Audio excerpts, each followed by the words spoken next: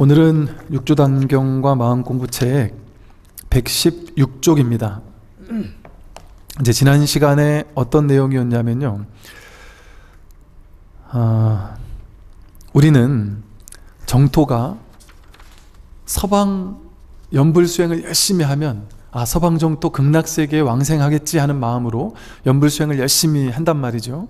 그런데 육조 스님께서는 연불이라는 수행을 통해서 서방 정토 극락세계에 가는 것이 아니라 지금 여기가 정토다. 지금 내 마음을 깨달으면 그 자리가 바로 정토고 그 자리가 바로 극락세계 아미타 부처님의 마음이다. 따로 다른 곳에 있는 것이 아니다. 동방 서방이 따로 나뉘어 있는 것이 아니다. 이런 이제 말씀을 했단 말이죠. 그래서 다만 마음이 청정하기만 하면 그 즉시 자성의 서방 극락이다. 이렇게 말씀을 하셨어요. 이제 그러면서 이렇게 정토에 대한 바른 길을 이렇게 안목을 열어주셨더니 사군이 이제 물었습니다.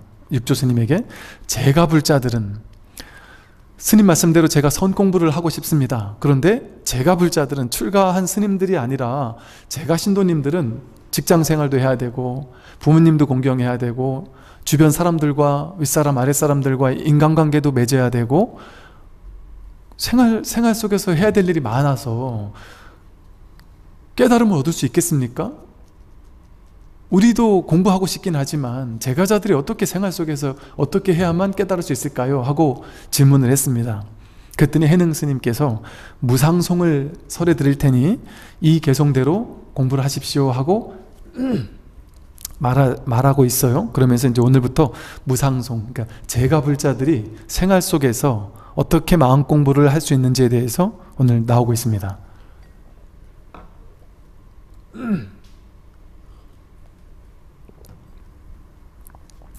아, 제가자들을 위한 어, 이야기다 보니까 좀 쉽게 설명을 하고 계세요. 어, 마음이 평등하다면 어찌 애써 계를 지킬 것이며 행동이 올바르다면 어찌 애써 참선을 할 것인가 이 말이 무슨 말이냐면요 스님이 되어서 250가지 계율을 지키는 삶 그것만이 계율을 지키는 삶이 아니다. 마음을 평등하게 지녀 쓰는 것. 일체중생이 너와 내가 둘이 아니구나라는 마음으로서 평등한 마음을 가지고 마음을 평등하게 쓰는 것 그것이 자성의 계다. 그것이 진짜 계율을 지키는 것이지 내가 계율 100가지 200가지를 지키 하나하나를 지켰느냐 어겼느냐를 살펴보고 그거 하나하나에 구속돼서 계율을 하나하나 지키고 안 지키고 이것이 계율의 진정한 정신이 아니다라는 것이죠. 일상생활 속에서라도 마음을 평등하게 지낼 수 있다면 그것이 바로 자성의 계율이다. 계율을 지키는 스님들이 계율을 지키면서 스님 생활하는 것과 똑같다는 거예요. 스님이 스님인 이유는 뭐겠어요? 계율을 지키는 거예요. 250가지 계율을 지킨다. 신도님들은 다섯 가지 계율을 지키면 되지만 스님들은 250가지 계율을 지키는 것이다 이거죠 그런데 사실은 250가지 계율을 지키기 때문에 스님이 아니라는 말이에요. 마음을 평등히 지녀서 이 법의 이 평등성 둘이 아니다라는 이런 마음의 평등성 이것을 깨닫기 위한 마음을 가지고 공부를 하기 때문에 그분이 스님일 수 있단 말이죠. 즉 계율을 250가지 계율을 지킨다고 해서 스님인 것은 아니다. 범한다고 해서 스님이 또 아닌 것도 아니다. 핵심은 뭐냐? 낙처가 중요하다 마음을 평등히 지니는 이 마음 깨달음의 마음 불이법의 마음 이 법의 마음을 바라는 것, 그 마음이 진정한 자성의 계율이다는 거죠. 그래서 세속에 있다고 해서 계율을 다 지키지 않는다고 해서 스님이 아닌 것이 아니다라는 소리를 하고 있는 거예요. 또 행동이 올바르다면 어찌해서 참선을 할 것인가? 참선하는 것만 참선이 아니란 말이에요. 참선을 하는데 좌선을 늘 앉아서 하고 있는데 탐심이 막 가득하고 욕심이 가득하고 화를 매일 내면서 성질을 내면서 탐진치 삼독에 오염돼 있다면 그 사람은 참선하는 사람이라고 할 수 없다. 좌선하는 사람이라고 말할 수 없다는 것이죠. 그러니까 스님이 돼서 머리 깎고 승복 입고 앉아서 좌선을 오래 한다고 해서 그 사람을 참선하는 스님이라고 할 수 없단 말이죠. 신구의 삼업으로서 어떤 행동을 하고 어떤 삶을 사느냐 어떤 마음을 가지고 어떤 평등한 마음으로 어떤 행동을 하느냐 그것이 내가 스님인지 아닌지를 결정하는 것이다. 불교는 상을 깨는 종교잖아요. 약견, 재상, 비상이면 직견, 열애라고 해서 상이 상이 아닌 줄 알면 열애에 이른다 그랬잖아요. 상이 상이라는 건 모양이거든 모양. 그러니까 스님의 모양과 제가자의 모양이 다르죠 그죠? 스님은 머리를 깎은 모양 승복 입은 모양. 제가자는 머리를 안 깎고 승복을 안 입은 모양이잖아요. 그런데 불교의 핵심은 뭐겠어요? 금강경의 핵심은 상을 깨라는 거예요. 그러면 스님의 상과 제가자의 상은 그건 상일 뿐이잖아요. 상일 뿐이지 않습니까 그 상은 허상이란 말이에요. 거기 얽매여서는 공부가 되겠느냐 말이죠. 진짜 중요한 것은 머리를 깎았냐 안 깎았냐가 중요한 것이 아니란 말이죠. 인류 역사 속에 우리나라 근대 속에 지금도 그렇고 수많은 재가불자들 선지식들이 많아요. 방거사나 뭐 이런 분들만이 문제가 아니에요. 재가 선지식들이 많습니다. 그리고 스님들 가운데는 재가 선지식들 밑에 가서 삼배하고 법을 공부하는 스님들 많이 계세요. 제가 아는 어떤 큰 스님과 대화를 하는데 그 스님께서 그러시더라고요. 나는 법 있는 곳은 출재가 막론하고 남녀를 막론하고 어디든 가서 남들은 나를 큰 스님이라고 생각해서 와서 삼배하지만 나는 그분이 누가 됐든 남녀, 노소를 막론하고 출제가를 막론하고 쫓아가서 삼배를 드렸다. 그게 이 불교의 정신이거든요. 그 실제 스님들은 그러세요. 그 옛날에 제가 어떤 자분들이 법문을 할 때 스님들이 앉아서 법문을 들으시잖아요. 근데 그걸 가지고 어떤 분이 야 스님이 제가자 앞에 가서 법문을 듣냐 뭐 이런 얘기를 누군가가 한 적이 있는데 그 얘기를 한 사람이 정말 많은 욕을 먹는 걸 제가 옆에서 봤어요. 그건 스님이라는 상 아니냐. 그런 상을 가지고 어떻게 공부를 할 수 있겠느냐. 상을 깨는 게 종교 불교인데 스님이라는 상을 가지고 있다면 그게 공부가 되겠느냐. 이렇게 얘기했단 말이죠. 그러니까 출제가라는 건 그냥 모양이에요 모양. 내가 30년 40년을 공부했다? 아니 이제 공부 시작했다. 이것도 모양이에요. 남자다 여자다? 이것도 모양이에요. 심지어 저 사람이 깨달았냐 깨닫지 못했냐? 그게 중요한 게 아니란 말이에요. 뭐가 중요하다? 행동이 올바르다면 내가 수행자처럼 행동하느냐? 탐진치 삼독이 없는 삶을 살아가느냐? 이 법에 마음을 두고 사느냐 마음 공부에 늘 간절하고 목말라 하고 이 공부가 내 인생의 가장 중차대한 공부다라는 어떤 발심이 있느냐? 불교의 발심하라는 게 아니죠. 불교 발심은 발 안욕 따라 삼맥삼보리는 내가 내 괴로움의 문제를 해결하겠다라는 간절함이 있느냐 없느냐 이거예요. 불교에서 발 안욕 따라 삼맥삼보리는 불교의 발심하라는 거 아니에요. 내가 내 괴로움의 문제를 진짜 해결하고 살 것이냐 아니면 그냥 돈, 명예, 권력, 지위 살아있으면서 잠깐 누릴 수 있는 달콤한 임시적인 달콤한 거에 빠져가지고 내가 죽음 이후를 전혀 생각하지 않으면서 지금 달콤하면 됐다라고 단시간적인 시안으로 안목으로 지금 그냥 행복하면 됐지 하고 돈, 명예, 권력만 추구하며 살 것이냐. 아니면 돈, 명예, 권력을 아무리 추구해도 누구나 병들고 늙고 죽을 것인데 그때 가서 내가 괴로워하면 되겠느냐? 지금 내가 이건 불사의 길이라고 하거든요 부처님께서. 어떤 분이 저한테 질문을 하셨는데요. 아 스님 저는 정말 불교가 도대체 뭐길래 불교 공부한 사람이 이럴 수 있는지 나는 정말 충격적이었습니다 하면서 했던 말이 뭐냐면요 자신은 살면서 너무너무 힘들었대요. 몸도 아프고 하는 것마다 되지도 않고 심지어 막 하는 것마다 되지 않아서 괴로워 죽겠는데 암이 걸린 거예요. 그래서 막 세상을 원망하면서 너무 불평불만 가득한 마음으로 살고 있었는데 암이 걸려가지고 암 환우들 모임이 있어서 그 암 환우들 모여 있는데 말기 암으로 거의 죽어, 죽어가기 직전인 30대 여자분이 계셨는데 애 셋을 가진 애 엄마 말기암 환자가 계셨는데 그 애엄마가 그냥 보여주기 식으로 그러는 게 아니라 본인은 지금 곧 죽을 사람인데 정말 하루하루의 삶이 너무나도 즐겁고 유쾌하고 정말 만족스럽고 감사하면서 죽음을 정말 초월하면서 사는 것 같이 보이는 게 그냥 억지스러운 표정이 아니라 진심이 느껴진다는 거예요. 그래서 뭐지 저거는? 어떻게 사람이 저럴 수가 있지? 싶어서 그분 하고 이렇게 장문의 편지를 오고 갔는데 그분이 오히려 나를 걱정해 주면서 아주 정성스러운 마음으로 답변을 해 주는데 너무나도 충격적이었대요. 그러면서 그분이 자기한테 이제 써줬던 답변에 그렇더래요. 나도 옛날 같았으면 정말 괴로웠을 것이다. 근데 나는 마음 공부를 하고 불교를 공부하는데 불교를 공부하고 뭐 인생이 바뀌었는데 이 마음 공부를 하고 났더니 정말 이 죽음이라는 거 생사가 이게 그렇게 내가 옛날에 생각하던 것처럼 그렇게 충격적인 문제가 아니라는 걸 스스로 깨달았던 거예요.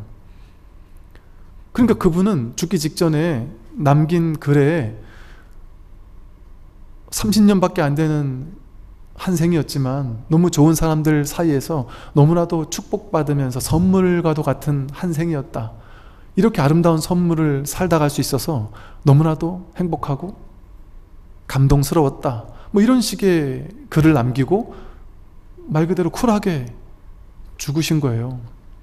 근데 그 모습을 보면서 이 사람은 너무 충격을 받은 겁니다.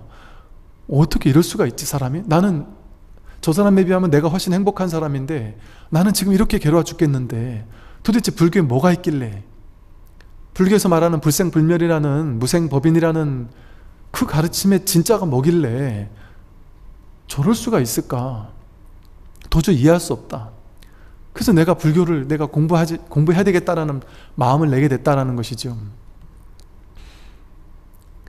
이런 일이 아 정말 정말 있단 말이에요. 저도 제가 공부가 많이 부족해요. 아주 부족하지만 공부가 부족한 부족한 입장에서도 입장에서도 정말 옛날에 제가 공부를 많이 했었을 때 그때만 해도 저도 불교 불교 어느 정도 나한테 다 물어보세요. 제가 다 답변해 드릴게요 하고 자신 만만했었거든요. 근데 그때 그때도 이러진 않았어요. 뭐랄까, 야, 정말 부처님께서 말씀하신 이 생사를 해탈하는 공부라는 것이 정말이구나. 이게 왜 정말인지를, 왜 정말인지를 이게 확인하는 공부란 말이죠. 이 몸이, 오온이 반야심경에서 말하는 조견, 오온, 개공, 도, 일체, 고액이라는 게 딱 함축된 얘기예요. 이 몸과 마음이 나라고 허망하게 여기는 사람에게는 몸이 늙고 병들고 죽으면 내가 늙고 병들고 죽는다는 착각이 일어나니까 괴롭단 말이에요. 근데 이 조견이 온 개공이라는 것을 조견할 때 몸과 마음이 내가 아니다라는 사실을 조견할 때 문득 확인하기만 해도 내가 늙고 병들고 죽는다라는 것은 괴로움이 아니구나. 내가 늙고 죽 내가 늙, 늙을 수가 없구나. 병들 수가 없구나. 죽을 수가 없구나. 말 그대로 부동이구나 부동 움직일 수가 없어요 내가 아무리 동서남북 왔다 갔다 허겁지겁 뛰어다녀도 늙고 병들고 죽, 죽, 죽어도 오고 갈 수도 없고 움직일 수도 없고 늘 자신의 진정한 본래 면목은 흔들릴 수 없단 말이죠 이 사실을 언뜻 보기만 해도 삶의 방향성 자체가 완전히 뒤바뀌는 거예요 완전히 물론 그런다고 해서 겉모습까지 막 다 바뀔 수는 없어요. 업습이라는 게 있어서 오랜 세월이 걸려요. 이제 그래서 도노 이후에도 오랜 세월이 걸린다라고 얘기를 하고 도노는 깨달음 아니다 이렇게 얘기한단 말이에요. 성철 스님도 도노 돈수 이렇게 얘기를 하신 게 도노 돈수에 집착해서 그렇게 얘기하셨겠어요? 그 어른께서 도노 해놓고 나서 자신이 깨달았다 하고 상을 내는 법상에 빠져있는 스님들을 경책하기 위한 방편이 아니었을까 싶어요. 왜냐하면 그렇게 할 수 없으니까 아직 부족하니까 이제 입문이란 말이죠 이제. 이제 공부 시작하는 거란 말이죠. 그런데 입문만 해도 자유로워진단 말이에요 진짜. 그리고 점차 공부가 너무나도 순일해진단 말이에요. 정말 그런 걸 느낀다니까요 여러분 깨닫기 전에 내가 진짜 내가 누군지에 대한 감을 확인하기 전에 20년 30년 공부한 공부한 것과 아무리 죽도록 공부를 했어도 30년 공부한 것과 문득 내가 누군지를 확인하고 나서 한 달, 두 달 공부한 게 훨씬 더 진도가 빠르단 말이죠. 쉽게 말 방편으로 얘기를 해본다면. 수행도 마찬가지예요. 그냥 어거지로 유의 조작하는 마음으로 막 그냥 억지로 내가 깨달으려고 수행하는 자기가 누군지를 문득 확인하지도 못하고 수행해봐야 30년, 40년 수행해도 진도가 안 나간다니까요. 근데 입문을 하고 나서 자기가 누군지를 문득 확인하고 나서 공부를 하게 되면 1년, 2년, 6개월, 6개월 하루하루가 다르게 공부 안목이 달라진다니까요. 안목이. 물론 그럼에도 불구하고 그게 하루아침에 다 확 바뀐다고 얘기할 수 없어요. 그러니까 뭐 갱참 30년이니 무슨 나는 40년을 공부를 했지만 여전히 맛있는 반찬에 손이 간다 뭐 이런 식의 얘기를 하는단 말이죠. 이렇게 얘기하면 이해가 안 된단 말이에요. 이해할 수 없는 공부예요. 그러나 이제 중요한 건 불교는 불이법이잖아요. 상을 깨는 종교고 불이법이에요. 둘이 아니에요. 어떻게 둘일 수가 있겠습니까? 출제가가 둘이 아니고 남녀가 둘이 아니고. 그러니까 이게 깨닫고 나면 깨닫기 전에는 내가 깨달으면 뭔가 우월감을 느끼고 중생들보다 더 뛰어나다라는 뭔가가 있을 것 같은데 오히려 깨닫고 난다면 나, 나만 가지고 있는 거래야. 우월감을 느낄 텐데 모두가 다 함께 쓰고 있는 거라. 누구나 다 갖추고 있는 거라. 100% 갖추고 있는 거라. 자기에게 다 갖추고 있는 거라서 자랑할 수 있는 뭔가가 아니란 말이에요 상을 내세울 수 있는 뭔가가 아니란 말이죠 이 공부는 또 이렇게 얘기를 하고 있어요. 은혜를 안다면 부모님을 효성으로 모시고 의로움이 있다면 윗사람과 아랫사람이 서로 돕고 사랑한다. 제가 속에 계시면서 부모님을 효성으로 모셔야 된단 말이에요. 나에게 주어진 일을 해야 된단 말이에요. 카르마, 인도 카르마 요가에서는 이렇게 얘기를 했어요. 그 카르마 요가, 즉 다시 말해서 카르마, 업, 업을 짓는 일, 행위를 하는 일, 내가 자기 직장 생활하는 것, 자기에게 주어진 삶을 사는 것, 그게 바로 깨달음을 향한 공부라고 그랬어요. 이게 색즉시공의 도리예요. 현실이 그대로 진실이란 말이죠. 세기국 공이란 말이에요. 생사가 곧 열반이라는 말입니다. 중생이고 부처라는 소식이에요. 내, 나에게 주어진 일을 하는 것, 그게 깨달음으로 가는 길이란 말이에요. 거기에 집착 없이 한다면 머무는 법 없이 한다면 과도하게 반드시 돼야 되라는 집착만 내려놓고 그걸 최선을 다해서 일을 한다면 그 일을 통해 내가 깨달을 수 있다. 그게 카르마 요가예요. 내가 부모님을 정, 부모님이 지금 아파서 내 도움 없이는 부모님이 거동조차 할 수 없어서 내가 어쩔 수 없이 몇 년 동안 부모님 옆에서 부모님을 시봉하고 산다. 그런다면 내가 좀 힘들지라도 그게 인연이 그렇게 주어졌다면 그 인연을 최선을 다해서 부모님을 모시고 도움을 드리고 하는 것이 깨달음의 길이란 말이에요. 저 절에 가서 머리 깎고 들어가 있는 것만 깨달음의 길이 아니란 말이에요. 직장 생활 하면서 충분히 마음 공부할 수 있습니다. 제가 앞에서 말씀드렸던 것처럼 정말 놀라운 것이 여러분 오히려 수행하라고 탁 가둬놓고 산에 산사에 넣어놓고 템플스테이 5박 6일 가둬놓고 수행만 해 이렇게 해보세요 수행 잘 되나 앉아서 참선하려고 한 시간 앉아서 내가 참선만 집중하겠다고 앉아보세요 한 시간 참선 됩니까? 계속 번뇌망상이 올라와요. 안 돼요. 근데 막 힘들게 직장 생활 하다가 내 마음에서 법문 듣고 싶고 공부하고 싶은데 직장 생활 안 할 수 없으니 직장 생활 하다가 짬나는 시간에 출퇴근 시간에 점심 시간에 주말에 내가 깨어난 마음으로 내가 탁 법문도 듣고 내가 명상도 좀 하고 이럴 수 있는 시간을 보내는 게 오히려 더 집중도 더 될 수도 있어요 그리고 지금은 충분히 그럴 수 있는 시, 시대란 말이에요. 언제든 TV를 틀면 유튜브를 틀면 언제든 내가 법문을 가까이 할 수 있으니까 부처님 가르침을 언제나 내가 여기서 부처님이 직접 나에게 해준다라는 마음으로 여기서 눈앞에서 들을 수 있으니까.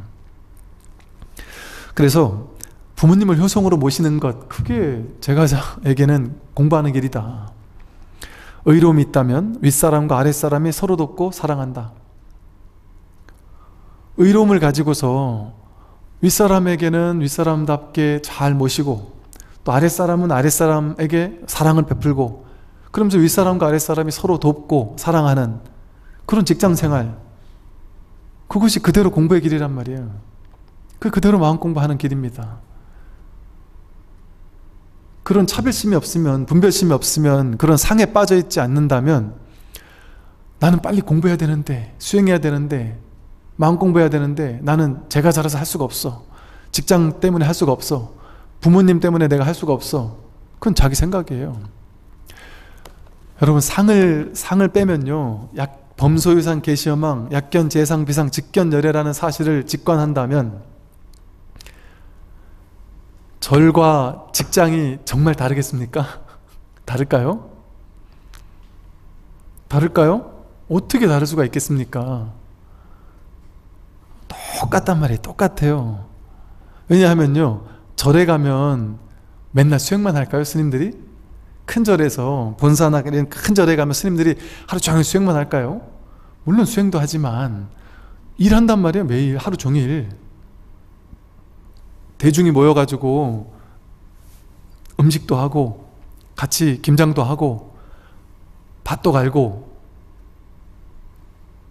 그 큰 도량을 가꿔야 되기 때문에 모두가 울력을 한단 말이에요. 대중 울력을 한단 말이에요. 그 틈틈이 공부한단 말이에요. 그리고 법회도 하고 법회 준비도 하고 큰 절이 그냥 쉽게 쉽게 돌아간 것 같지만 그 많은 스님들이 해야 할 일들이 너무 많으십니다. 그러니까 어찌 보면 직장 생활과 다를 바가 없어요. 그렇게 바쁜 것은. 그리고 또 절 생활을 하더라도 바른 안목을 갖춘 스승이 그 절에 없다면 옛날에 이제 제가 아는 스님들이 그런 얘기를 한 적이 있어요. 나는 처음에 출가할 때만 해도 정말 내가 깨달아서 대도인이 되어서 삼세를 구제하겠다 이런 마음으로 출가를 했는데 출가한 지 20년이 지난 스님인데 지난 20년을 되돌아보건데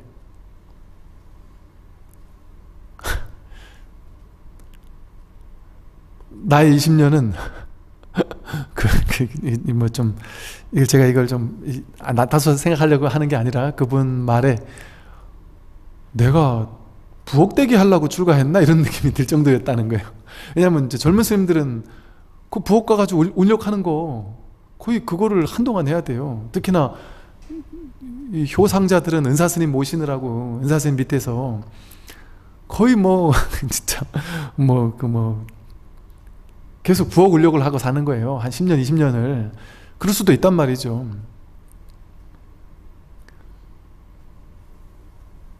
직장 생활 하면서 공부 못 하느냐? 직장 생활 하면서 틈틈이 공부할 수 있습니다. 분명히 공부할 수 있어요. 상을 빼면 직장이 도량이고 도량이 직장이에요. 산사에 가면 무슨 성스러운 기운이 있는 것 같고 콘크리트 서울 한복판에 있는 빌딩에 있는 직장 일터에는 기운이 안 좋은 것 같다? 그 자기 생각입니다. 자기 생각 아니에요? 직장 생활하고 있는 그 빌딩 안에 있는 모든 사람들 한 명한 한 명이 밥 먹고 컴퓨터 쳐다보고 자판 두들기는 이 자판 두들기는 이걸 지금 누가 하냔 말이에요. 이거 다 부처가 하고 있는 거예요. 100% 부처를 써서 내가 컴퓨터를 돌리고 눈을 흔들고 회의를 하고 직장 윗사람 아랫사람 인연 맺으며 산단 말이에요. 절에서 연불하고 독경하고 밥 짓고 하는 것도 똑같이 법 하나를 써서 한단 말이에요. 완벽하게 부처예요. 부처를 써서 한단 말이에요. 빌딩은 부처가 아니고 산사에 있는 기와로 된 집만이 부처가 머무는 집이겠습니까? 그럴 수 있다면 그거는 불이법이 아니죠. 불이법은 뭐예요? 둘이 아니다잖아요. 근데 성스러운 땅이 있고 성스럽지 못한 땅이 있다거나 중생이 있고 부처가 있다거나 이곳은 청정한데 저것은 청정하지 못하다거나 이런 삶은 성스러운데 저런 삶은 성스럽지 못하다거나 그럴 수가 있겠습니까 심지어 심지어 살생은 한 나쁜 놈 마음도 불성을 지니고 있단 말이에요 선악이 둘이 아니에요 완벽하게 둘이 아닙니다 이렇게 얘기를 해도 이거는 교리는 그렇고요. 실제로는 절에 가는 게 훨씬 좋겠죠. 뭐 어쨌든 그렇게 믿어도 어쩔 수 없는데 그건 방편이에요, 방편. 틀린 말이라는 게 아니라 방편으로 그렇게 우리가 믿을 수 있지만 우리가 방편 공부하려고 달을 가리는 손가락만 평생 보려고 공부합니까? 달을 버리고 공부하지 달의 입장에서의 진실은 뭐냔 말이에요 직장 생활이 가정이 바로 절이 도량입니다. 그래서 옛날부터 전통적으로 이 몸이 바로 도량이라 그랬어요. 몸, 몸이 바로 도량이다. 이건 완벽한 얘기입니다. 이 내 몸 아니에요. 이건 그냥 부처님이 머무는 도량이에요 도량. 부처님이 있는 곳을 도량이라고 하잖아요.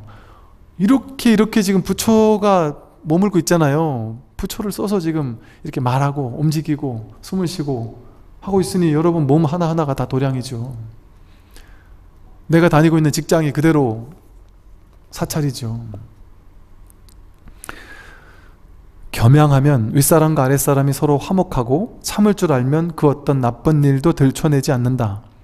겸양한 마음으로 윗사람과 아랫사람이 서로 화목하게 서로 겸손하게 서로 사양하는 미덕을 가지고 윗사람과 아랫사람이 서로 화목하게 다투지 않고 사는 것. 그게 다툼 없는 무쟁삼매로서 사는 거 공부, 공부 아니겠어요? 참을 줄 안다면 그 어떤 나쁜 일도 들춰내지 않는다. 뭔가 힘든 일이 생길 때 항상 남 탓하고 바깥을 향해서 욕하고 핑계대고 이게 이제 공부인들이 첫 번째 달라지는 점이 이 점이에요. 늘 바깥을 향해서 마음을 쓰거든요. 내가 잘못한 게 있어도 항상 남 탓하고 저 사람 탓하고 부모님 탓하고 돈 없는 탓하고 남편 탓하고 아내 탓하고 심지어 자식 탓하고 정치 탓하고 모든 바깥으로 탓을 돌리는 것 이게 이제 중생의 특징입니다. 둘로 나누니까 바깥이 따로 있다고 여기니까. 불교 공부를 하다 보면 이제 내외 명철이라는 말이 많이 나와요. 육주단경에도 많이 나오고요.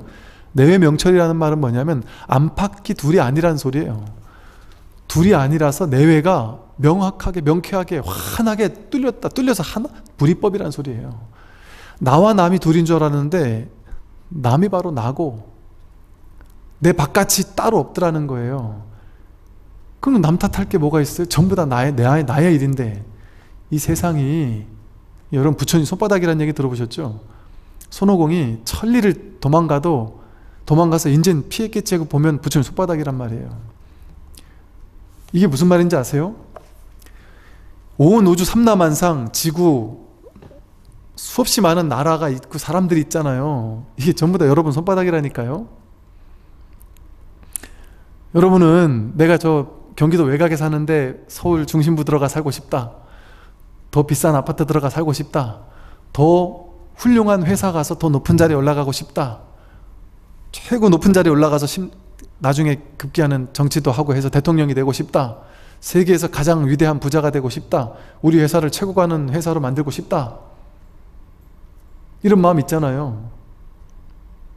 그런데 그 최고 가는 회사. 서울 강남의 제일 비싼 아파트. 그게 다 내 손바닥 안에 있다니까요. 여러분 마음 안에 있다니까요. 내가 그걸 가져야 되는 게 아니고 그게 다 내 마음 안에 있다니까요 내가 뭐하러 그걸 가지려고 애를 써요? 여러분 생각해 보세요. 서울 여러분이 만약에 돈이 많아서 서울 강남에 뭐, 뭐 100억짜리 빌딩을 200억짜리 빌딩을 샀어요. 행복할까요? 그 200억짜리 빌딩을 관리하기 위해서 사람이 수십 명 월급을 줘야 되고 거기 뭐 하자 생기면 또 고쳐야 되고 오래되면 또 그것도 돈, 돈은 돈대로 들어가고 막 신경 쓸 일이 얼마나 많겠어요. 하다못해 저 식당 주인도 그 식당 알바하는 분들 관리하는 게 그렇게 스트레스를 받는다고 하더라고요 스님들도 절에서 저보고 어떤 어른 스님이 그러시더라고요 하, 보상 스님은 나중에 절하면 공양주 절에 두지 말고 혼자 밥해 먹으라고 그래서 왜요? 그랬더니 아이고 절에 공양주 한 명이 지옥 한 명이고 또 이게 이게 공양주를 욕하는 소리가 아니고 이제 사람과의 어떤 관계라는 것이 그렇게 힘든 일이다. 그러니 200억짜리 빌딩을 가진들 그만큼 스트레스 받지 않겠어요? 그 스트레스 때문에 죽어가는 사람도 있지 않겠습니까? 그런데 왜 그 빌딩을 샀느냐? 아, 그 빌딩 가면 전망이 좋다. 서울 시내를 내려다볼 수 있다. 전망이 좋아서 샀다. 예를 들어 전망을 매일 보면 여러분 저 부산에 제일 아름다운 전망 해운대 고층 빌딩 최고층 위에서 아파트 딱 전망 보고 너무 마음에 들어서 그 비싼 아파트 사서 사시는 분들이 저한테 뭐라는 줄 아세요? 우울증 걸린답니다. 매일 창밖으로 바다가 툭 튄 바다가 환히 보이는데 우울증 걸린대요. 높은 층일수록 더 전망이 좋다고 해서 높은 층을 샀는데 차라리 적당히 높은 데라서 바다 슬쩍 보이고 밑에 사람 사는 게 보이는 게 훨 낫더라 이런 얘기도 하고. 어쩌다 한번 봐야 좋은 거예요. 어쩌다 한번 그 전망을 봐야 좋은 거예요.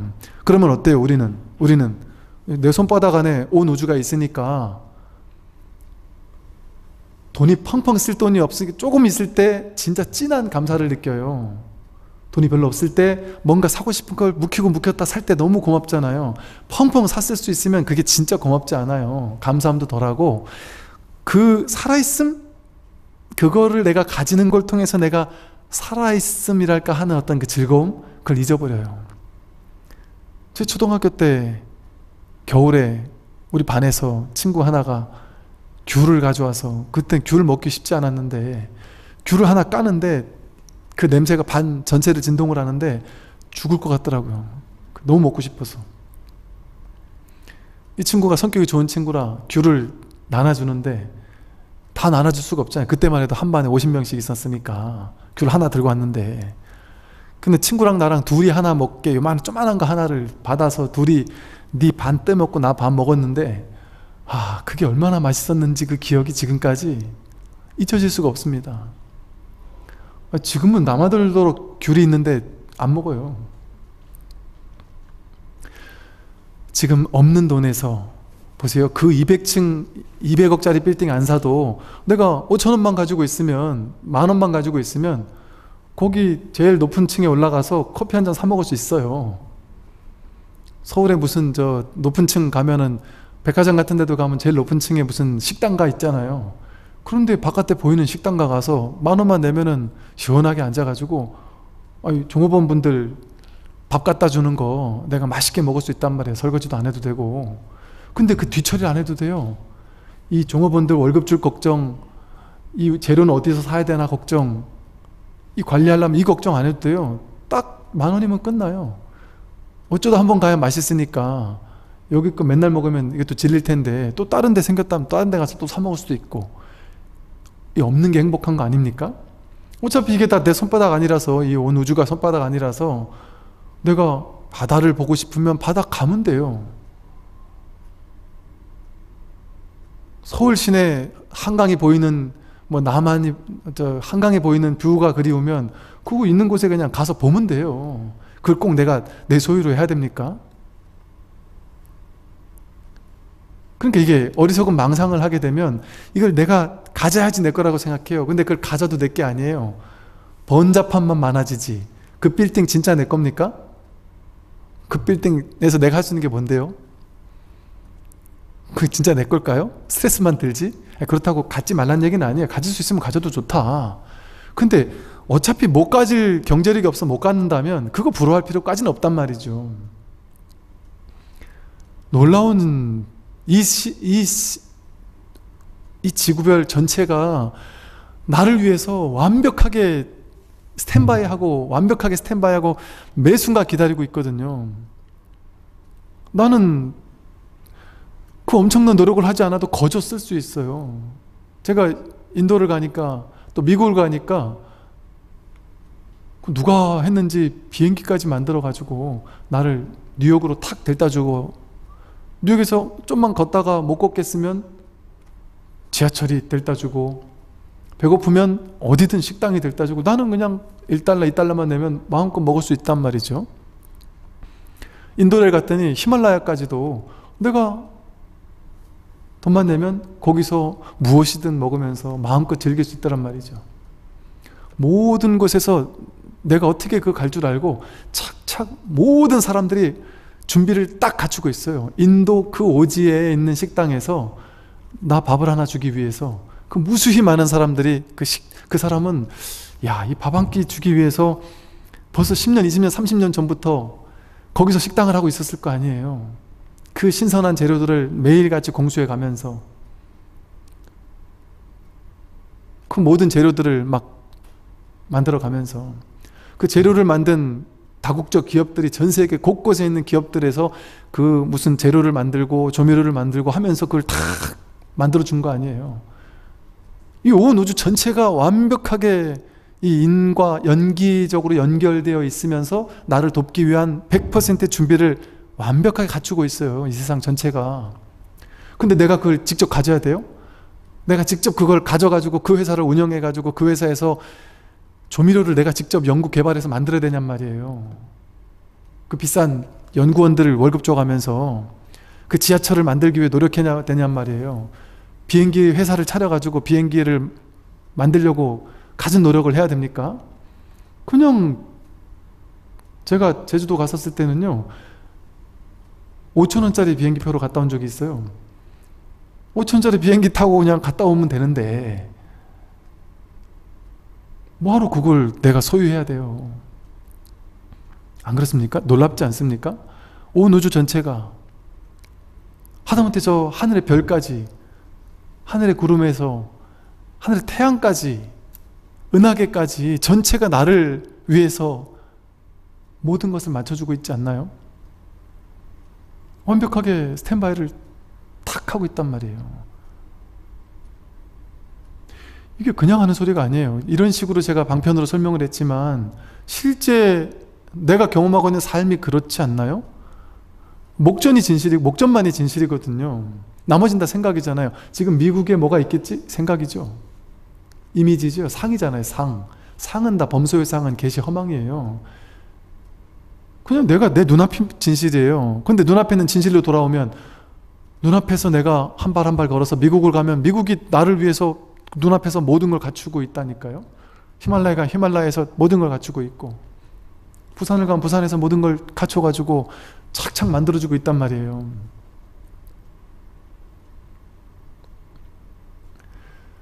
제가 부산에 이제 절을 하나 작게 이렇게 포교당을 하나 내놨는데 어, 어떻게 이거 포교당을 할 줄 알고 그 건물을 거기다가 이렇게 탁 만들어 줬는지 또 어떻게 희한하게 신기하게도 정말 이거는 그냥 말로 도저히 상상이 안 가요. 어, 저 이제 또 봉사자분들이 몇 분 계시는데 그 봉사자분들 한 분한 한 분이 어떻게 그렇게 완벽하게 놀랍게 시절 인연에 맞게 그 훌륭하신 분들이 이렇게 탁 짜여져서 아 이 도량에 와서 뭐 그냥 톱니바퀴 착착착 돌아가듯이 이렇게 감사하게 이것을 이렇게 감당해 주실 수가 있을까? 너무 놀라운 일이에요 하나하나가. 또 이곳에서 이렇게 헬로붓다 TV에서 또 제가 서울에서 법문, 법회를 부산에만 법당을 열었으니 서울에 있는 분들에게 늘 빚진 마음이 있었는데 이렇게 여업하게 아름다운 법당을 벌써 몇십 년 전부터 지어가지고 제가 이렇게 법회를 할 수 있도록 또 이렇게 배려해 주시고 한다는 게 얼마나 하나하나가 감사한 일이겠어요. 또 우리 저 법부님이 20년 전부터 불교를 공부해서 그림 그리는 걸 공부해가지고 이렇게 편집도 해주시고 또 우리 저 PD님이 이런 장비나 이런 것들을 다 세팅해가지고 만들어 주시고 이 모든 하나하나가 또 우리 또 제 군승 선배님이신 저 또 법사 스님께서 여기 계시는 법사님께서 또 도움을 주시고 하나하나가 전부 다가 뭐겠어요? 당신이라는 존재는 전부 다 또 다른 나예요, 나. 나 자신이에요. 이 세상이 그대로 나와 다르지 않아요. 이 몸이 내가 아니라 이 편만한 법신의 허공이 그대로 나거든요. 그럼 허공성 허공 전체 어디 이게 뭐 위치가 있습니까? 크기가 있습니까? 모양이 있습니까? 온 우주 전체가 난데 나를 위해 내가 내 목전에서 매 순간순간 모든 것이 지금 돕고 있잖아요.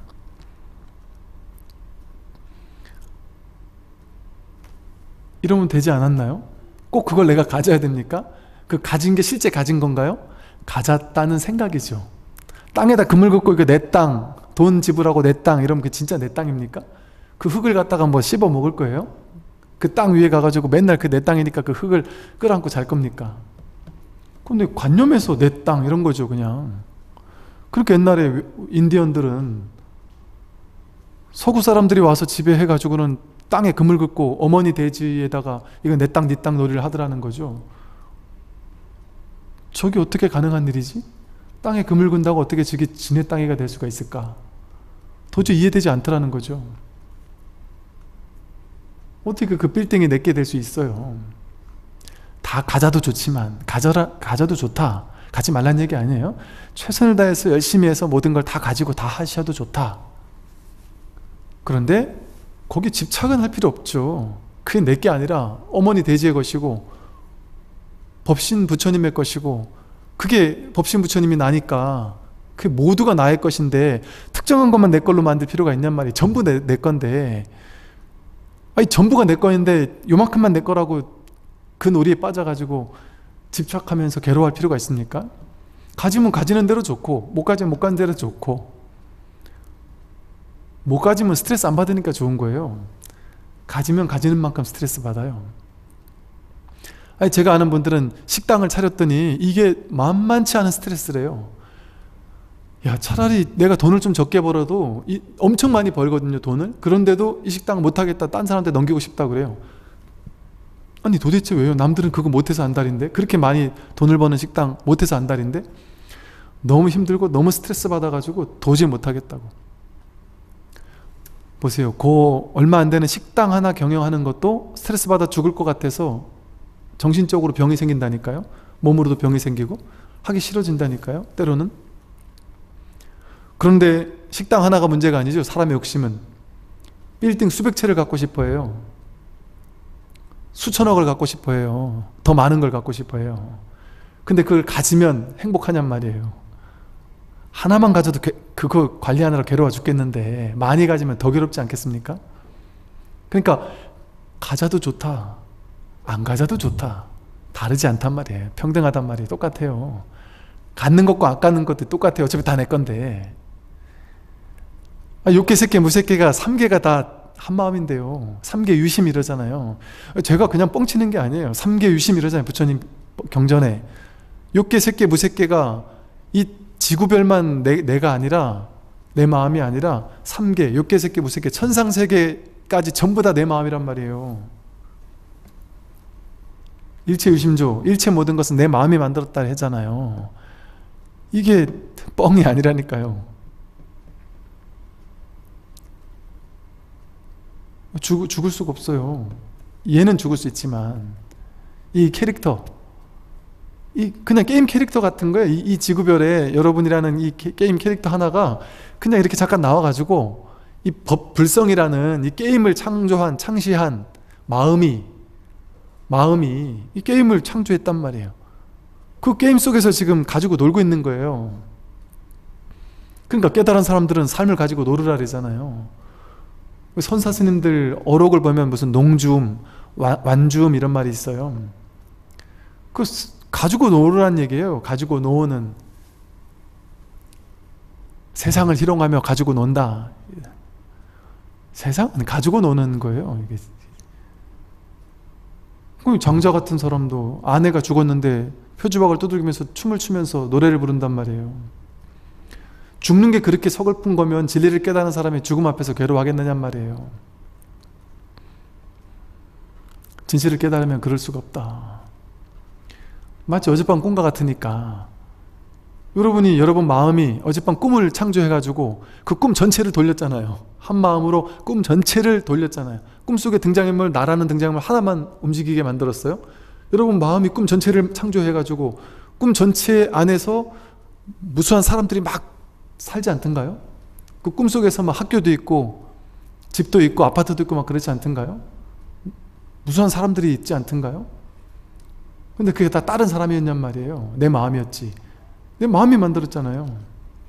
그리고 꿈에서 딱 깨고 나니까 그 꿈 속에 있던 사람들이 실제 있습니까? 내가 꿈을 깨고 나니까 어? 꿈속에 있던 그 자식이 나는 꿈을 깨놓으니까 꿈속에 있던 자식이 엄마 없어서 지금 서글퍼 울것 같아가지고 나는 빨리 그 꿈속으로 들어가야 되는데 하고 서글퍼합니까? 그게 망상이라는 건 다 알잖아요. 말도 안 되는 소리라는 걸 알거든요. 똑같아요. 이 현실도. 여러분이 지금 내가 먼저 죽으면 자식은 얼마나 괴로울까? 자기 망상이에요, 그거는. 자기 생각이에요. 꿈속에서 깨고 보니까 꿈이 다 허망한 망상이었잖아요. 현실이 망상이라니까 현실이 여몽 한포영이라니까요. 꿈과도 같고 환영과 같고 그러니까 이거 금강경 말씀이라니까요. 여몽 한포영 여로 영여전 응장여시관 이와 같이 관해라 이러잖아요. 모두 꿈과도 같다고 일체유의법은 이 세상 전체는 이 소리예요. 일체 유의법은 여몽한포영이다. 꿈과 같다 이 소리잖아요. 이렇게 관해라. 이렇게 보는 것이 부처로 부처의 안목으로 보는 것이다. 그 말이잖아요. 금강경의 가르침이. 이게 꿈이라니까요. 지금 현실이. 내가 사는 게 아니라 꿈 전체를 창조한 게 내 마음 하나잖아요. 우주 삼라만상 저 안드로메다 별까지 다 여러분 마음 하나가 창조했다니까요. 어, 여러분 뭐만 하면 되겠어요? 꿈만 깨면 되는 거예요. 그런데 꿈과 다른 점 하나는 꿈에서 깨면 거기서 빠져나오지만 이 현실이라는 꿈은 꿈에서 깨고 나서 마음은 꿈에서 깼는데 현실은 그냥 꿈을 사는 거예요. 가지고 놀면서 삶을 가지고 놀면서 현실을 가지고 놀면서 산다. 재밌게 박진감 넘치게 게임 캐릭터 본연의 역할을 다 하면서 깨달아도 울고 웃어요. 여러분 놀이에 박진감이 없으면 그게 놀이가 돼요? 영화가 기승전결이 없고 막 핍박 당하다가 핍박 당하다가 살아나야 그게 영화의 즐거움이 있잖아요. 재미가 있잖아요. 영화가 맨날 주인공이 승승장구만 하면 그 영화가 재밌습니까? 재미없어요. 막 우여곡절을 겪으면서 막 괴로워하다가 나중에 이 나쁜 놈들을 다 탁 이긴 그게 재밌는 스토리잖아요. 그러니까 우리 인생이 마냥 즐겁지만 기만 한 게 아닌 거예요. 마냥 즐겁기만 하면 이 게임 캐릭터가 이 현실에서 현실이라는 놀이에서 배울 게 없습니다. 깨달을 게 없어요. 삶이 너무 진부해지고 너무 재미없어지고 우울증 걸려요 전부 다. 항상 돈이 충분하고 항상 여러분 돈 충분하고 먹을 거 충분하고 혼자 아, 먹을 거 충분한 곳에서 넓은 아파트 좋은 경치 좋은 아파트에서 혼자 마음껏 평생 살아라 이러면 행복할까요? 아무 할 일 없이 맨날 주는 거 먹으면서 거기 가만히 멍청하게 앉아 있으면서 아무것도 부족한 게 없는데 사람은 죽어요. 살아있음이 죽어요. 스스로 원해요. 박진감 남치는 인생을 원해요. 스스로 뭔가 내가 힘들어도 거기서 뭔가 배우고 깨닫는 걸 원합니다. 그러니까 여러분들은 이해 안 되겠지만 제가 군에 있을 때 보면 특전사나 힘든 부대를 일부러 자처해서 가는 사람들이 젊은 군인들이 많다니까요. 자처해서 가요. 힘들어 죽을 걸 뻔히 알면서 나는 한번 가고 싶다. 그래요. 그런데요. 그런 자처해서 그 힘든 부대를 가는 친구들 있잖아요. 그 부대에 가서 제가 교육을 하잖아요. 제가 한번 이런 적이 있었어요. 그 이제 특, 특전사나 사단 같은 데도 보면 최고 그, 그 저기 저기 아 이제는 얼마 안 됐는데 벌써 다 까먹어 버렸네. 그 뭐라 그러죠? 그 저 특수 대대가 하나 있잖아요. 수색대라고 있어요. 수색대라고 가장 엘리트들 본인들이 희망하는 사람들 딱 모아놓는 이런 아주 그 저 힘든 부대가 있어요. 그런데요. 일반 부대 가서 200명, 300명 교육을 하면 그냥 적당히 집중을 하겠죠. 그죠? 그럼 1시간 강의한다 이러면 1시간 딱 강의하고 나와요. 그런데 제가 이런 적이 있었다니까요. 그 특, 특수부대를, 수색대를 가서 교육을 했는데요. 와, 그 한 100여 명 되는 장병들이 눈빛이 얼마나 초롱초롱하고 막 얼마나 집중이 막 돼서 제가 막 그냥 거기 하나가 돼버려가지고 내가 이렇게 오래 얘기한 줄 몰랐어요. 전혀 몰랐어요. 상상도 못했어요. 두 시간 반을 강의를 해버린 거예요. 두 시간 반 동안 이 친구들이 꼼짝은 안 하고 그냥 있더라니까요. 그러니까 지금 이게 무슨 말이냐면 그렇게 스스로 이 괴로움을 스스로 자처해서 와가지고 이 삶을 이 괴로운 삶을 즐기는 사람들의 자세, 마음 자세는요 완전 달라요. 제가 그 친구들에게 밥 먹어서 하는 말이 그거였어요. 야, 내가 너희들 여러분 스님이 하는 말 잘 들어라. 내가 많은 부대를 다녀봐도 이렇게 이런 부대에 왔을 때는 정말 완전 다른 느낌을 받는다. 어떻게 사람이 이렇게 다를 수 있지 싶을 정도의 다른 느낌을 받는다. 너희들은 너희가 얼마나 대단한지 모를 거다. 스스로 선택해서 괴로움을 선택할 수 있다라는 그 정신은 야 이거는 정말 놀랍구나 싶다니까요. 그 에너지가 다르다니까요. 대화를 나눠봐도 벌써 내용이 자체가 달라요. 놀라워요. 그게 현실과 똑같단 말이에요.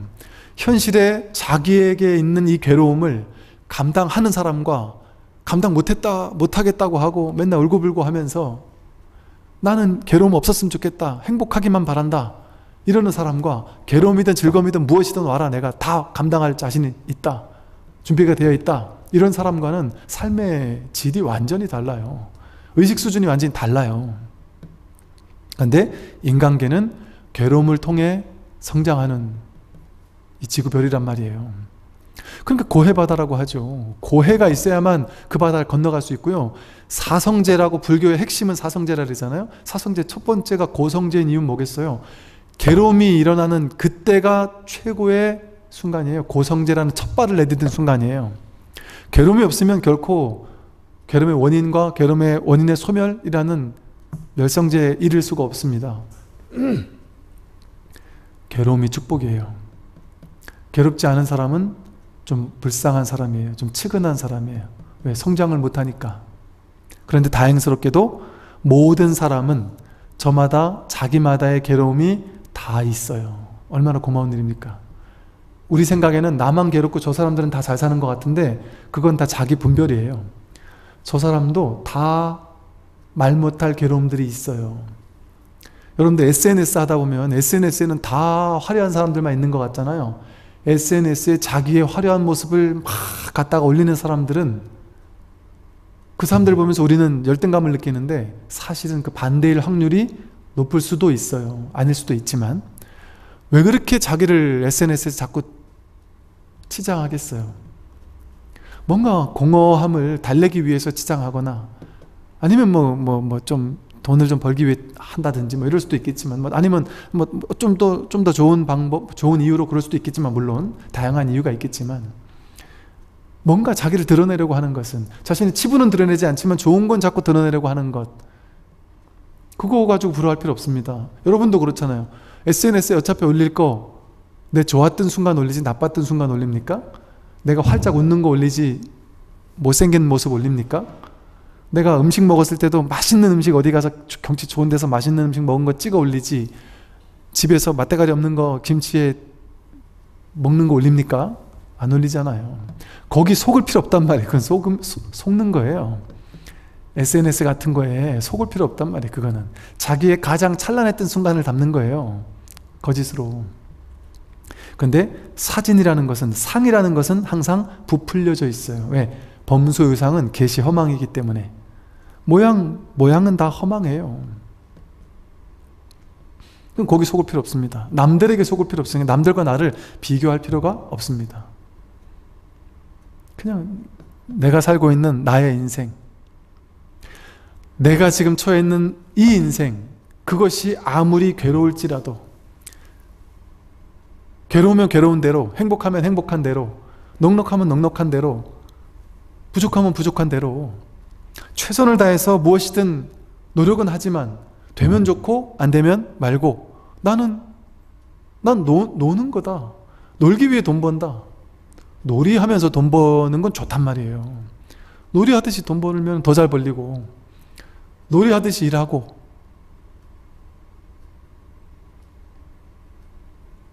이게 깨닫기 전에 분명 어렵죠. 물론 교과서 같은 얘기죠 스님, 스님, 지가 지금 저 승복 입고 망고 편하니까 저런 얘기 하지 하고 얘기하는 사람도 있던데. 여러분 승복 입고 있다고 망고 편하지 않아요.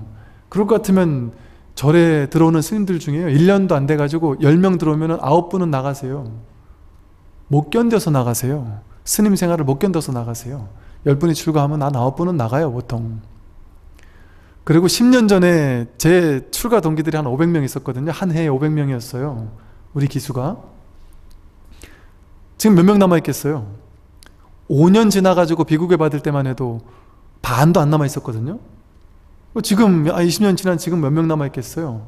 500명 중에 몇 명 안 남아있을 거예요. 몇십 명 안 남아있을 거예요 아마. 그렇게 편해서 이러고 있는 게 아니다. 삶 자체가 삶의 진실을 진실은 어, 이 괴로움 속에 진흙 속에 연꽃이 피는 거예요.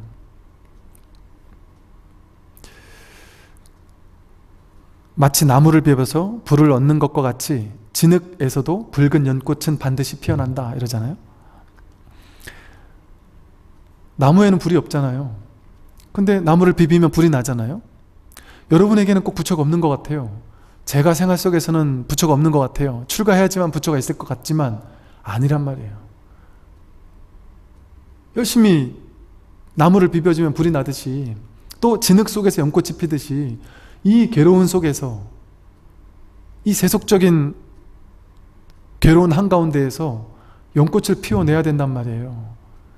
여러분이 연꽃을 피워내는 게 아닙니다 사실은 이미 피어있는 연꽃을 확인해야 된단 말이에요 그 연꽃은 보지 않고 그 진흙만 쳐다보고 살 것이 아니라 본래 피어있는 한 송이 연꽃이 연꽃을 확인해야 된다 입에는 쓴 것이 좋은 약이 되듯이 진실한 충언은 귀에 거슬린다 이 세속을 살 때, 이 세상을 살 때 우리가 우리를 힘들게 하는 게 뭐겠어요? 남들의 말이에요, 말. 남들이 나한테 욕할 때, 힘들게 할 때, 괴롭힐 때, 말로 상처 줄 때, 그때 막 절망하고, 괴로워하고, 아파하고, 또 비교할 때, 망어, 양설, 악구, 이런 다양한 말에 의해서 영향을 받고 괴로워한단 말이죠. 근데 그건 그냥 말일 뿐이에요. 소리 파장일 뿐입니다. 그들이 어떤 얘기를 하더라도 그 속에서, 그 충고 속에서, 그들이 하는 말 속에서 내가 배우고 깨달아야 할 충고를 그냥 나는 수학하기만 하면 돼요.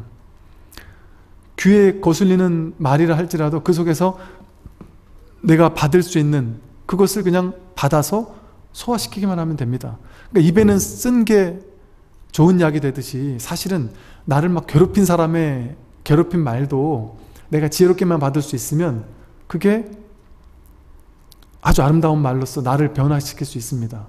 아, 연예인들이 옛날에 뭐, 뭐 무슨 연습생 시절에 야, 네 그래가지고 되겠어 하면서 막 아주 심하게 욕하던 사람들 때문에 내가 바들바들 떨면서 내가 분노에 젖어서 내가 저놈한테 보여주리라 하는 마음으로 정말 막 그 열심히 했다 이러잖아요. 그게 반드시 좋은 건 아니지만 어쨌든 그것 때문에 자기 인생이 바뀔 수도 있단 말이에요. 알 수 없단 말이에요. 삶은 알 수 없습니다. 그러니까 겉으로 봤을 때는 그게 나를 욕하는 것일지 모르겠지만 그런 일이 일어나는 이유는 뭐겠습니까? 내가 거기서 배울 수 있단 말이에요. 거기서 깨달을 수 있단 말입니다. 그걸 통해 성장할 수 있다. 그러면 돼요. 괴로움 속에서 연꽃을 피워내기만 하면 되지. 그 괴로움에 일일이 내가 반응할 필요 없습니다. 반응할 필요 없죠. 말에 뭐하러 다 일일이 다, 다 끄달려가요. 그럼 말이구나 하고 말의 파장이구나 하고 안 끌려가면 돼요. 말에 안 끌려갈 수 있을까요? 없을까요? 있어요. 근데 있을 것 같은데 실제 그 상황이 되면 끌려가죠. 근데 지금 생각엔 안 끌려갈 수 있을 것 같잖아요. 그죠? 한 생각 딱 돌이키면 딱 깨어 있으면 그 순간에 처해도 안 끌려갈 수 있단 말이죠.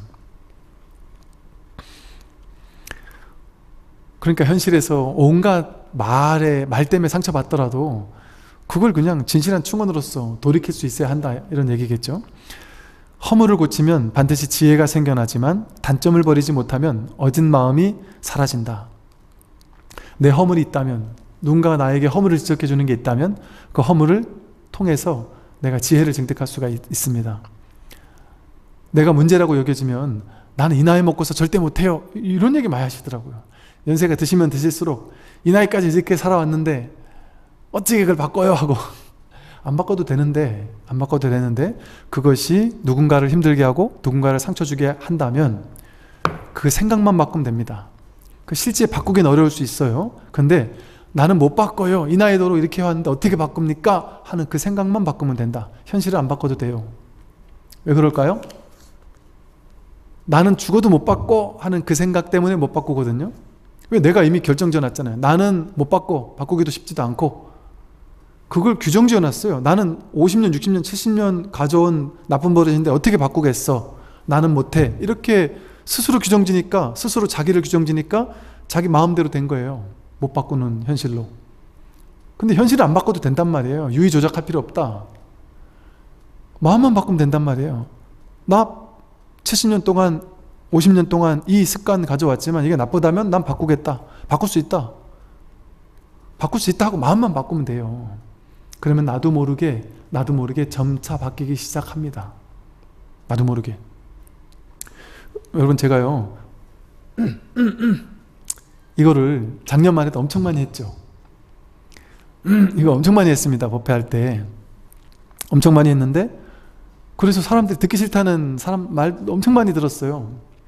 근데 제가 그때 이제 어떤 생각을 했냐면요. 예를 들어, 아니, 목 아픈데 어쩌라고? 난 이러고 싶어, 일어나? 이렇게 얘기하면서, 이거는 원래 내 목이 아파. 근데 20년 전부터 목이 아팠어요, 저는. 20년 전부터 아파가지고 못 고친다고 생각할 수도 있어요. 20년 동안 계속 응, 응 이랬어요. 10년 전 영상을 지금 들어봐도 여전히 응 하고 있으니까 그땐 지금보다 더 심하게 응 하더라고요. 근데 그 얘기를 듣고 제가 제 영상을 보니까 아 진짜 좀 거슬리더라고요. 그래서 아 바꿔야 되겠다 하고 마음만 먹었어요. 근데 바꿀 수 있을지는 몰랐어요. 왜? 20년 동안 목이 아팠는데 이거 어떻게 바꿀 수 있겠어요? 안 되겠지. 그런데 바꾸는 게 좋겠는데? 내가 아무리 봐도 바꾸는 게 좋겠는데? 바꿀 수 있을 거야. 하고 바꿔야지 하고 한 마음 마음만 냈어요. 그냥. 그냥 마음만 냈어요. 마음속에서 흔연하게 바꿔지면 좋고 아니면 어쩔 수 없고 그러나 바꿔보자. 근데 제가 바꾸려고 노력을 했느냐? 노력은 별로 안 했어요. 그다지 많이는 안 했어요. 왜냐면 뭐 노력할 게 뭐가 있습니까? 아프면 그냥 어쩔 수 없는 거잖아요. 그런데 마음을 바꾸기만 했잖아요. 마음을. 될지 안 될지 모르지만 마음만 바꿨는데 그냥 어느 순간부터인가 저도 제 마음이 일단 딱 방향을 틀었으니까 나도 모르게 마음을 마음이 주인이 되어서 그 법, 법구경이 나오는 말이잖아요. 마음은 마음이 주인이 되어서 뒤따른다. 현실이 뒤따른다 이러거든요. 마음이 삶의 주인이다 이런단 말이에요. 그래서 마음을 바꾸면 현실이 되, 나머지는 뒤따른다. 현실은 뒤따라가 갈 수 있어요. 그래서 안 된다는 생각을 먼저 가지면 그게 안 되겠지만 그걸 억지로 바꾸려고 하면 힘들잖아요. 바꾸려고 하지 마라. 그건 유의 조작이니까. 안 되는 거 바꾸려고 한다고 바꿔집니까? 안 되죠. 그러니까 바꾸지 않아도 좋다. 그런데 나는 바꾸려고 마음은 내겠다. 그것만 해도 바꿀 수 있는 첫 단추를 끼는 거예요. 제가 아는 많은 분들은 50년, 60년, 70년 가져왔던 고질적인 습관 바꾸셨다니까요. 어떤 거사님이 보살님을 그렇게 괴롭히던 거사님이 60생을 60년 60세 되실 때까지 뭐한 40년 괴롭히셨겠네요. 40년을 보살님을 그렇게 괴롭혀서 그 보살님은 나는 진짜 황혼 이혼해야지 하고 이 나이 돼서라도 내가 이혼해야지 계속 그 생각만 하고 사셨다는 거예요. 근데 남편이 이혼 안 해줘가지고 막 괴로워 죽겠었다는 거예요. 근데 그 남편이 마음 공부하고 자기 성품을 확인하고 성품이 성격이 어떻게 이리 바꿀 수가 있지 싶을 정도로 바뀌어지더라는 거예요. 물론 그 처음에는 확 바뀌어가지고 너무 좋았는데 나중에 시간이 지날수록 다시 조금씩 조금씩 그런 게 나오면서 그렇게 나는데 크게 봤을 때는 전면적으로 전환이 되기 시작했다. 그러니까 차차 좋아지고 있다. 그 옛날에 비해서 훨씬 좋아졌다. 그리고 스스로 노력하는 게 너무 보인다. 그러면서 60년 만에 다시 사랑이 싹 튼다 이런 얘기를 하시더라니까요. 그 어르신께서 안 되는 게 아닙니다. 내가 안 된다라고 딱 규정 지어놓으니까 안 되는 것이죠. 그래서 허물 고치면 반드시 지혜가 생겨납니다. 지혜가 생겨나고 단점을 버리지 못하면 어진 마음도 사라져요. 저희가 단점이라고 생각했으면 그걸 바꾸겠다는 마음만 먹어도 저절로 바뀔 수가 있다. 늘 일상적으로 사용하여 쓰면서 늘 이익을 얻으니 보세요.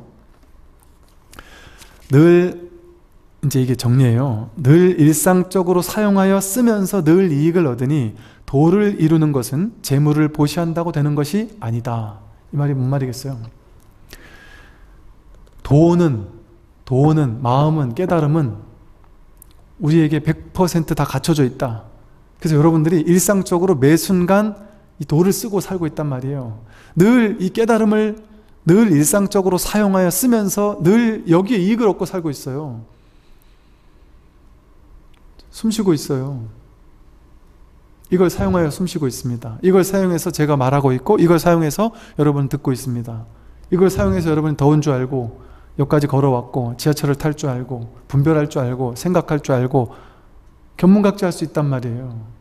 이 법을 하, 활용해서 법이 아니면 법이 아니면 이 법이라는 이 깨어있음 살아있음이 아니면 여러분들 어떻게 이렇게 살아서 움직일 수가 있겠어요 말하고 생각하고 행동할 수가 있겠어요 늘 우리는 일상적으로 쓰면서 사용하여 쓰면서 늘 이 이익을 얻고 있단 말이에요 늘 이 속에 있어요 근데 이것을 억지로 만들어야 됩니까? 부처를 억지로 만들어야 됩니까? 도를 이루는 것은 재물을 보시한다고 되는 게 아니에요 유의 조작으로 많이 보시하면 부처 된다? 그럴 수 없습니다 그러니까 양무제가 나는 전국 각지에 절을 엄청나게 많이 지었는데 복이 얼마나 많습니까? 복이 없다. 복 준다고 부처되는 게 아니다 말이죠. 거기서 말하는 복덕은 깨달음을 복덕이라 그래요. 불교에서는. 공덕, 공덕이라 한단 말이에요. 단순한 복이 아니라 공덕이라 한단 말이에요. 그래서 진짜 깨달음의 공덕은 복 준다고 되는 거 아닙니다. 유의 조작으로 만드는 게 아니에요. 본래 갖추고 있는 거지. 매 순간 자기가 쓰고 있으면서 도가 뭐지? 한단 말이에요. 도가 뭐지? 하는 그게 이걸 써서 도가 뭐지? 하고 있으면서 이게 뭐지? 하고 이먹고 하는 그게 도인데 자기가 자기를 써서 자기를 찾으려고 하는 아이러니를 하고 있단 말이죠. 100%매 순간 도대체 도가 뭡니까? 할 때 증명되고 있는데 그걸 모르고 있단 말이에요. 그럼 이건 만드는 게 아니에요. 보시한다고 얻는 것도 아니고 수행한다고 얻는 것도 아닙니다. 문득 돌이킴이 필요할 뿐이에요. 회강 반조가 필요할 뿐이에요. 깨달음은 다만 자기의 내면의 마음에서 찾을 뿐 어찌 애써서 밖을 향해 현묘함을 구하겠는가? 밖을 향해 구하는 게 아니다. 자기 내면에서 찾는 거지. 자기 내면에 이미 갖춰진 거지. 밖을 향해 구, 하면 벌써 어긋난단 말이에요. 밖을 향해 구하는 마음 자체가 둘로 나누는 마음이잖아요. 중생심이잖아요. 중생심으로 아무리 찾아봐야 되겠습니까? 밖을 향해서 수행하는 게 밖을 향해 달려가는 거잖아요. 수행이라는 도구를 통해 결과에 이르겠다 하는 거잖아요. 그러니까 수행은 그렇게 하는 게 아니란 말이죠. 수행하되 수행하지 않는 수행이 진짜 수행이란 말이에요. 그걸 중도라고 불러요. 중도. 반야와라밀. 그 중도는 하라는 게 아니에요. 하되 함이 없이 하는 게 진짜 수행이에요. 그래서 제가 수행하지 말라고 할 때는 진짜 수행하지 말라는 게 아니라 수행하더라도 수행함이 없이 수행하라는 말을 수행하지 말라고 이름한 거예요. 때로는. 이 법문을 듣고 여기에 의지하여 수행한다면 천당이 바로 눈앞에 있다. 천당이 바로 눈앞에 있죠. 지금 눈앞에 목전에 법이 있어요. 부처가 있어요. 극락세계가 눈앞에 있어요. 열반 해탈이 눈앞에 있단 말이에요. 해능대사께서 거듭 말씀하셨다. 선제식들이여 모두 이 개성에 의지하여 수행해서 자성을 보고 곧장 불도를 이르되 법을 상대로 놓고 대상화하지 마십시오. 법을 찾으려고 하는 마음은 벌써 법을 상대로 놓고 대상화하는 마음이잖아요. 그럼 그 이 찾는 마음이 법인데 대상화하는 마음을 가지면 벌써 어긋나니까 대중들은 이제 그만 흩어지십시오. 저 또한 조계로 돌아갈 것이니 대중들에게 만약 의심이 생긴다면 찾아와 질문하십시오. 그때 자사와 관료들과 법회에 참석했던 남녀 신도들이 각각 깨달음을 얻어 신수봉행하였다. 믿고 받아들여 받들어 행하였다 하는 것이죠. 네, 오늘 여기까지 어, 해서 어, 다음 시간에 다음 부분을 하도록 하겠습니다. 오늘 오랜 시간 들으신다고 수고 많으셨습니다.